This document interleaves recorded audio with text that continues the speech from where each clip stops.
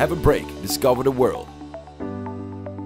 Things can always be improved, so we've put a lot of work into one of the best-selling rental products in the recreation sector.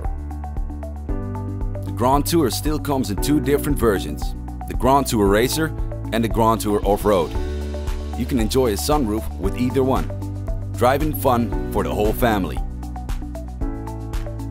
Safety always comes first, so the Grand Tour is constructed on a sturdy, low-maintenance frame and fitted with a handbrake and parking brake. The front seats for the children include retractable seat belts to ensure they can be kept out of the way. The rear seats can be adjusted in no time. The revamped Grand Tour features an improved steering system as well as simplified maintenance.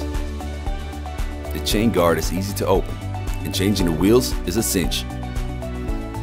With its fully up-to-date design, the Grand Tour is too much fun to leave alone.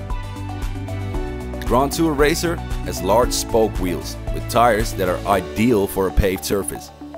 For more rugged terrain, the Grand Tour Off-Road is preferable, with wide tires with a rough tread. Both versions come with a swing axle, so little bumps on the road are no problem at all.